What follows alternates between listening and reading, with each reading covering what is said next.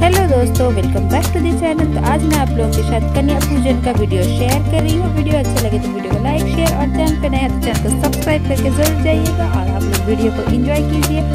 Video video में देखते रहिए कैसे कैसे कन्या पूजन किया जा रहा है। तो चलिए बने रहिए।